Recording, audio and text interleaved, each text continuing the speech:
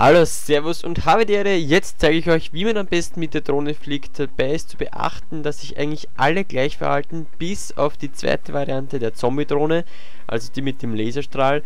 Die ist nämlich etwas langsamer und sperriger unterwegs, aber sonst macht es für mich zumindest keinen Unterschied, ob man die Knoblauchdrohne, die Artischockendrohne oder die normale Zombie-Drohne fliegt.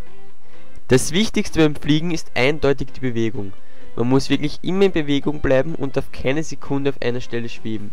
Leider sehe ich das noch immer viel zu oft und diese werden dann sehr schnell heruntergeschossen. Es muss also ein ständiges Auf und Ab passieren, damit man die Gegner verwirren kann. Am besten man verschwindet mal kurz um eine Ecke oder taucht irgendwo unter und erscheint dann plötzlich wieder hinter dem Gegner. Mir ist es schon oft passiert, dass ich so den Gegner verarscht und verwirrt habe und das freut einem natürlich dann mehr, als wenn man jetzt einem nur so ganz normal killt. Zur Drohnenauswahl habe ich auch einen Tipp für euch. Für Gärten und Friedhöfe sind am besten die Standarddrohnen, weil wenn man den großen Bombenschlag in den Garten oder auf den Teleporter schießt, kann man einiges an Punkten holen und manchmal auch richtige Multikills reißen. Die Zweitvarianten empfehle ich vor allem bei Team Deathmatch, da man es da oft mit einzelnen Gegnern zu tun hat und da der einzelne Bombenschlag viel besser ist, da man ihn öfter und gezielter einsetzen kann. Leider ist bei diesen Varianten die Primärwaffe schwächer, aber es ist generell schwer mit der zu zielen, vor allem wenn man sich sehr viel bewegt.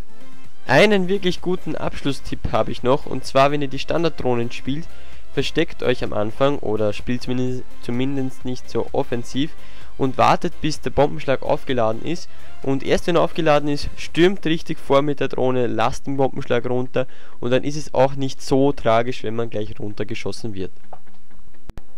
Ich hoffe natürlich, euch hat der Tipp gefallen und geholfen. Wenn ja, dann lasst mir bitte einen Daumen nach oben da, das würde mir natürlich sehr, sehr helfen. Links oben findet ihr den letzten Trick von 14 Uhr, wo ich euch zeige, wie man am besten die Klo-Zombies killt. Rechts daneben den Drohnenkill der Woche, den ihr jetzt eh schon ein paar Mal gesehen habt, aber ich verlinke ihn euch gerne nochmal, ist ein ziemlich geiler Multikill. Ich sag bis 18 Uhr, tschüss, bis zum nächsten Mal und ciao!